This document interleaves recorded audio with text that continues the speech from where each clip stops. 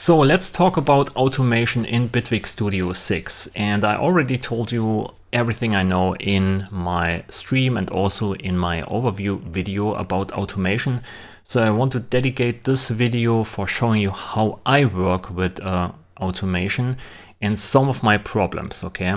Uh, and I want to say just as a disclaimer, most of these problems are not big problems. They are easily fixable if they want to fix it. Uh, maybe also it's just me. So let me know in the comments down below if it's just me or maybe you have also a problem with automation. You can also tell me polarity, you're just old, please adapt. This is how we do things nowadays. Um, move along, old man, okay? So I show you this here in Bitwig 6. So we have a track in the background. Uh, let's give it a small listen.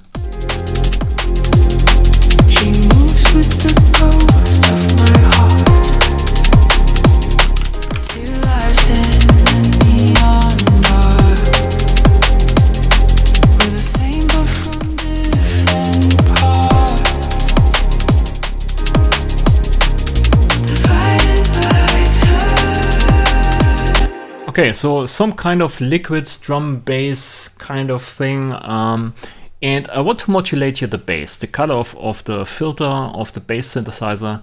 And we can do this multiple ways. Now in Bitwig 6, we can first up just enable here the global modulation mode. And you can see the last touch parameter already here selected. It's the cutoff.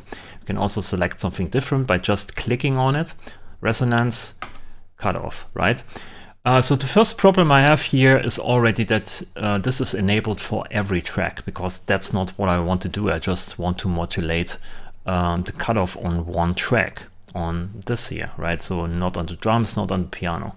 So why just enable this on every track? Um, so here we can just start and draw in an automation for the filter.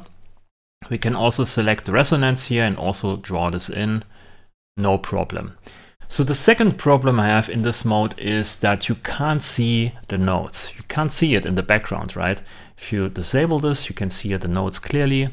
Here, not possible. So sometimes I want, or let's say every time I want to time my automation to the notes. So there is no sense of what's going on with the notes. You can barely see it in the background. There's a note and there's a note, but it's very, very subtle. So um, I can't see what's going on in the notes. So that's the second problem. The third problem I have with this mode is you can't actually move the clips around in the background. You can only draw in automation, which is okay. It's an automation mode. But now when I want to move these clips around, which is something I do all the time when I'm automating, uh, I have to switch back here to the track mode and then I can start here, select these clips, cut it, um, duplicate it, make some different versions, move them to different places, adjust the automation. So now I have to switch constantly back and forth here with this automation mode. Okay, I can use a keyboard here, I can use A, right? I can move this here, change it, um, paint in a different automation um, and then say okay and then copy this go back to automation. But it's very cumbersome very tedious to every time switch between the modes right? So this this is my third problem with this kind of um, mode here. So you can say okay polarity it's maybe not this mode is this mode is not made for you okay? Use something different we have different options. And we do. So let's say here um, let's restart delete this go back to the initial setup. So instead of using this global modulation mode, we can just use here the plus button, right? So we can hit this plus button, add a new modulation lane, and you can see the last touch parameter here also at the top, right? So this is kind of like it was in Bitwig 5. So we can touch here, cutoff parameter, we can use plus, and then we choose here the first um, option, which is the last touch parameter, cutoff filter frequency. Then we have a new lane and then we can start to draw in automation. So in this mode, we have now the possibility here to use um, the clip modes. We can just duplicate this, which is something I do all the time. I do this every time. And then move clips around and also change or adjust automation at the same time. And when we are done, we just close this down done, easy. But here they also made some changes. For me, kind of weird changes, um, but for someone else, probably not. So first up, uh, we have, if there is no automation already on the track, we have here a plus button. If there's an automation on there, there we have this unfold button here. So I'm not an interface designer. I have no idea about these things, but I would guess this is something you shouldn't do to just change buttons at the same place so they do something different. Um, so it, there's also no way you can see this beforehand, right? You can see there's no icon at the moment. We have to hover over this track to see, oh, here's probably something in there. Here is no automation lane in there. So we can't see it beforehand. Also, this unfold button was before here in Bitwig 5. Now it's here in the same place where the group unfold was. This one here. And this group unfold is not not here anymore. It's now here. So in the top left corner instead of the bottom left corner. Uh, so they moved some icons around, which leads to some frustrations if you move from Bitwig 5 to Bitwig 6 because everything is in a different place. And then also these buttons here change context or what they do. Uh, so it's a bit, you know, annoying for me some at some point, but it's easily fixable, fix, fixable, right? It's not a big change if you ask me. Um, also here, now if you want to add something new, this plus button is not working, it's an unfold. Now we have to use this plus button, which is at the bottom, and we can add new lanes. And then we can start automating. But here, um, the new lane is added below the last point, right? So it's extending to the bottom. Uh, so let's add something new. And I have, when I automate bass sounds, I have a lot of these uh, lanes here. I can show you this in a minute. So here we have now multiple lanes already. We probably also draw in here some automation. And you can see now the plus button is out of the screen. We have to start to scroll. We have to scroll down. Then we can use here the plus button to add something new if, if we want to. So this is a bit tedious because, um, you know, you have to probably unfold, then you have to scroll, then you have to click, then you have to click, then you have to automate and so on. So it's a lot of clicking and it was so easy and yeah, perfect, almost perfect for me before. And I can show you this here in a minute in Bitwig 5. Also, if you want to delete these lanes, you have to right click now.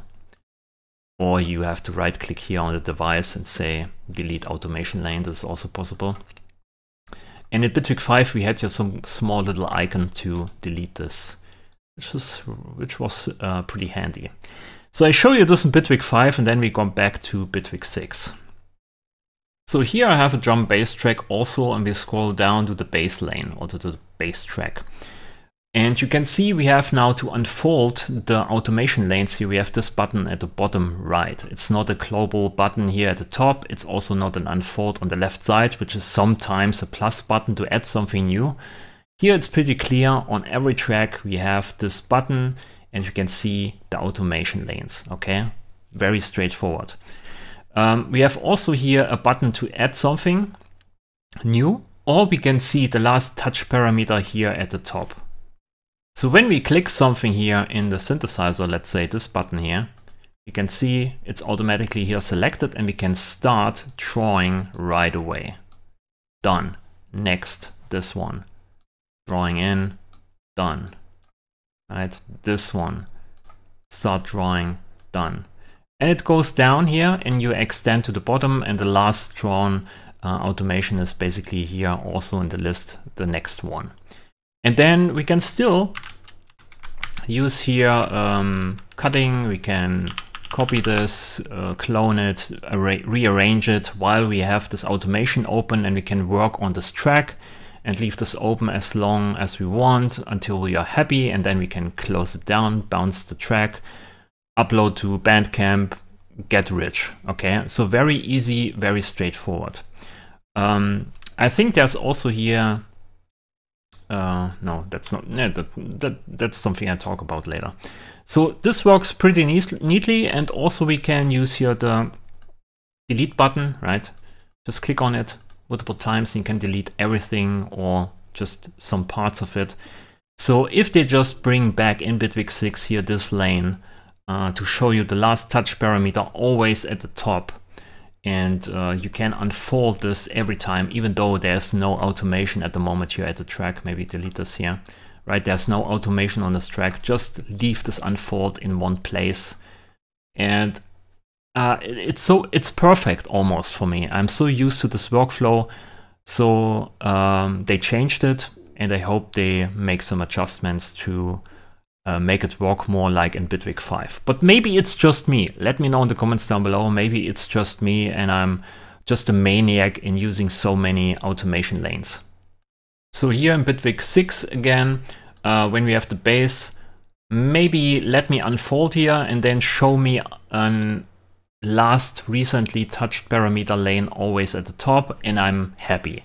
I'm super happy small fix. You can even leave this plus and unfold thing. I probably adapt to it, but I would say it's it's not a nice design choice, but it is how it is, and I can adapt to it. I'm I'm old, but I can adapt to things. Okay, but I would like to have here some, at least the last touch parameter at the bottom so I can unfold every time and just start drawing instead of having this plus button, which then also moves down out of the screen and I have to start to scroll and then I use the plus, plus button there and so on.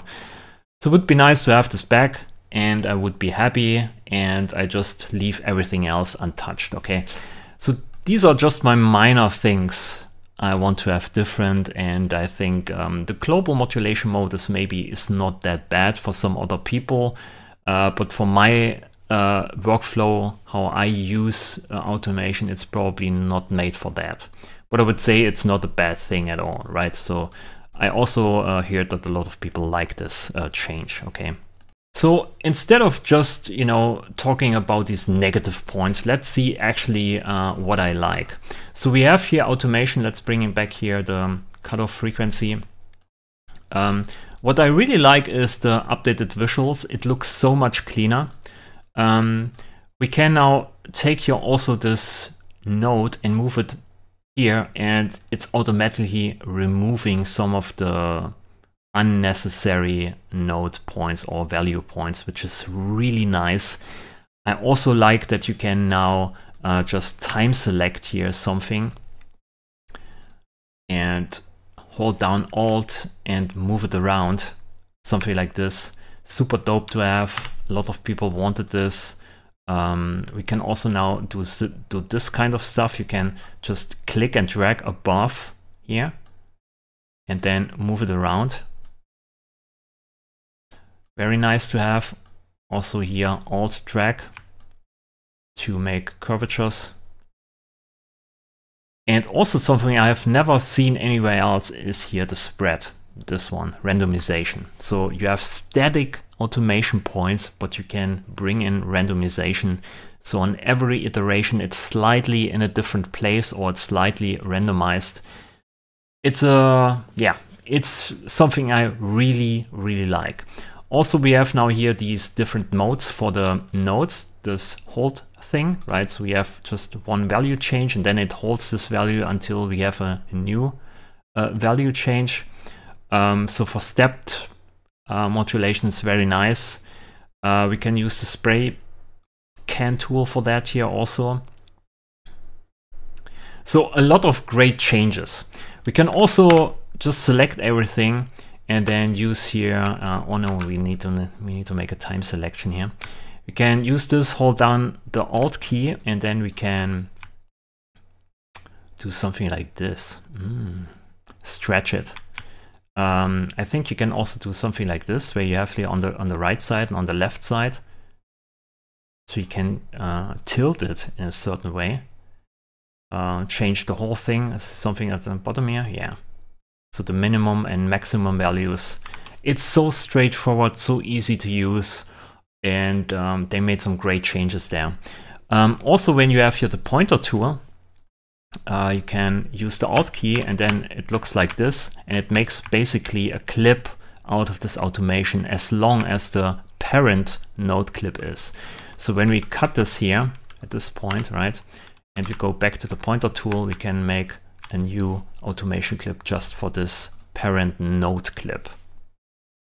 Also, the automation clip is now um, linked to the node clip here, and we can change this behavior by using here the automation lock mode. So we click this, this is enabled, and now here the um, node clip is separate from the automation clip. So we can just you know, make different automations for different clips or just move it around or loop it in different uh, different ways. Let's say make this here something like this and then you loop it, you know. So it's so fun to work with automations now and I think they make some, some really great changes there. Also something I just um, experienced today is when you have here, let's say the pointer tool, and you are hovering over this node clip, you can see it's still a pointer tool, even though you go to the lower region of the node clip. And in Bitwig 5, this was different. And someone in the Bitwig Discord uh, told it told him told it to me that you have to enable here a feature. I think it was Diva. Um, you have to use here this this button on the right side, the settings, and it's called Pointer Tool Supports Time Selection. So you have to enable this. And now it looks like this. We have here at the top a pointer, and when you move down, you have now time selection. So you don't need to switch between here the pointer tool and time selection. It's basically done automatically dependent on where you hover over the clip. So you can bring back the old behavior of Bitwig 5 if you really like this and then just time select here easily without switching the pointer tool to the time selection tool and of course, we can use these uh, automation clips uh, inside of the clip launcher if you want to. So we can move this here, delete it there, and maybe just leave this running in here and have automation playing polyrhythmically and modulating stuff here on your node clip. Um, so very nice, in my opinion. So before I told you uh, my problems, I also wanted to give you basically my positive um, insights of what I really like about the automation now in Bitwig 6. Um, and like I said, it's easily fixable. Let me know in the comments down below what you think um, about automation. I think it's great. It just needs small fixes to make me really, really happy, okay? Um, yeah, that's it. Thanks for watching. Leave me a comment, leave me a like, leave me a subscription. Um, that's it. Thanks for watching. See you next video. Bye.